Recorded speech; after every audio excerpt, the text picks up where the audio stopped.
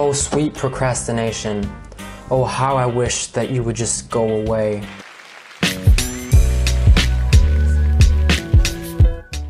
That moment when it's holiday and you promise yourself that this week will not go by like any other holiday. You will not just sit in front of your computer and look at funny cats on YouTube. You will not sit on your couch and wait for a good show to come on to fill your time with meaningless laughter. You will not procrastinate. You simply will not. Unless someone asks you to party because you really need new friends, or if you really are that tired and you can take a nap for like 20 minutes, or if you really need to talk to someone on Facebook because it's really important, or this can go on for a while. And once you're listing all these exceptions, you do not realize that you're simply procrastinating. Or do you? After you listed all these exceptions, it's about time you started working, right? First hours, everything is going alright, it's going smoothly, but when it comes to taking a break, that break never fucking ends. My break started last Friday. Shit. Now it's Friday and you realize you've been naughty, you've not done shit, and you feel terrible about it. Start crying, you start thinking about whether you should kill yourself or not. Then you realize that life is not all about work, work, work. You start thinking about what you really want to do in life.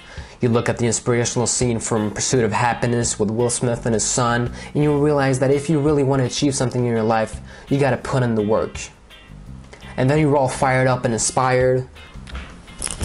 Then school starts. And then you get shit for not having handed in the homework on time. Then you cry a little bit.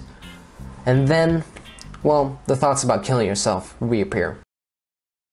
Hope I didn't make you too excited there, but if I did, and if you can relate to anything that I've said in this video, like, comment, and share this video with your friends. And if you haven't already, subscribe, you dickhead. See you next Friday. Tchau.